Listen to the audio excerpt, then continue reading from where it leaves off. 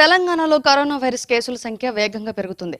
ఇప్పటి వరకు రెండు వేలకు దిగువన కేసులు నమోదు కాగా చాలా రోజుల తర్వాత తొలిసారి శుక్రవారం రెండు వేల ఎనభై ఎనభై మూడు కేసులు నమోదయ్యాయి. దీంతో రాష్ట్రంలో కోవిడ్ బాధితుల సంఖ్య అరవై నాలుగు వేల ఏడు వందల ఎనభై ఆరుకు చేరింది. శుక్రవారం ఇరవై ఒక్క వేల పదకొండు కరోనా టెస్టులు చేయగా మొత్తం నాలుగు లక్షల యాభై ఎనిమిది వేల ఐదు వందల తొంభై మూడు టెస్టులు నిర్వహించారు. మరో ఎనిమిది వందల ఎనభై మూడు టెస్టుల ఫలితం రావాల్సి ఉంది. ఇరవై నాలుగు గంటల్లో పదకొండు మంది కరోనా కారణంగా చనిపోగా మొత్తం మరణాల సంఖ్య ఐదు వందల ముప్పైకి చేరింది. జీహెచ్ఎంసీ పరిధిలో ఐదు వందల డెబ్బై ఎనిమిది పాజిటివ్ కేసులు నమోదు కాగా రంగారెడ్డి జిల్లాలో రెండు వందల ఇరవై ఎనిమిది కేసులు మేడ్చల్ జిల్లాలో నూట తొంభై ఏడు కేసులు నమోదయ్యాయి. శుక్రవారం ఒక వెయ్యి నూట పద్నాలుగు మందికి కరోనా నుంచి కోలుకొని డిశ్చార్జ్ అయ్యారు.